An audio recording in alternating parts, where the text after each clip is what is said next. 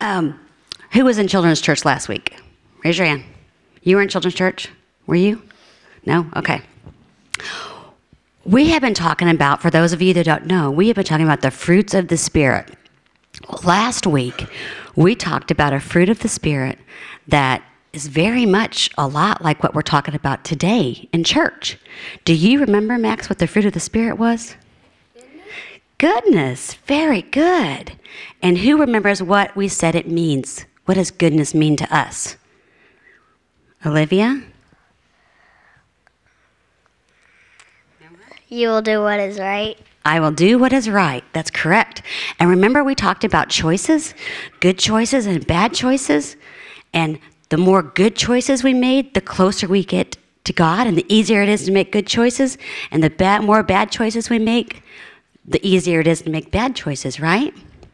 Is it always easy to do what is right? No, it's not. Not even just for you guys, but for big people too. It's not always easy to do what's right. We know a lot of times, don't we? Most of the time, we know what's right and wrong.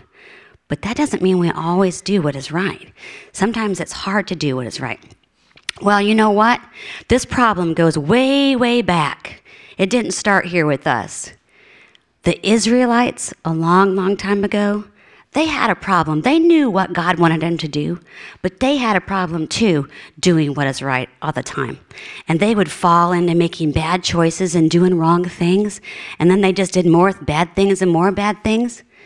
And it was hard for them to get back on track. So God would send somebody to them to help them remember the laws that He gave them and help them keep back get on track and get good choices and to do what is right. We have people like that today, don't we? Yes, we do. Who's some people that helps us get back on track?